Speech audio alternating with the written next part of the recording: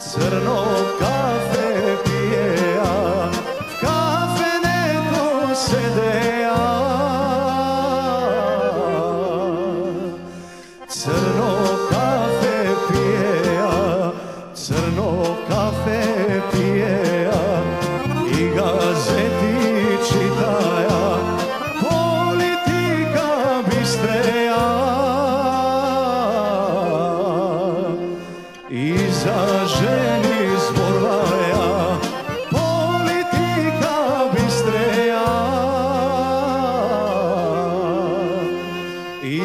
blaženi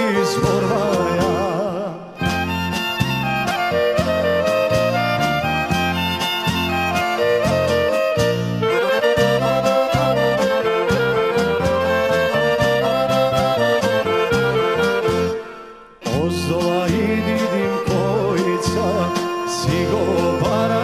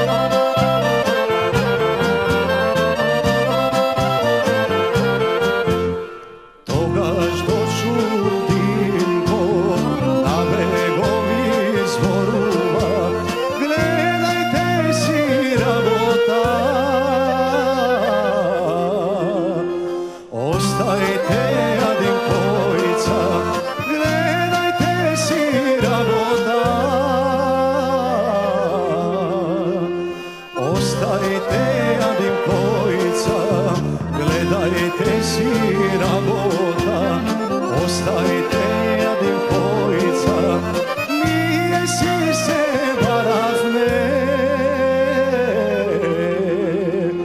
sega si se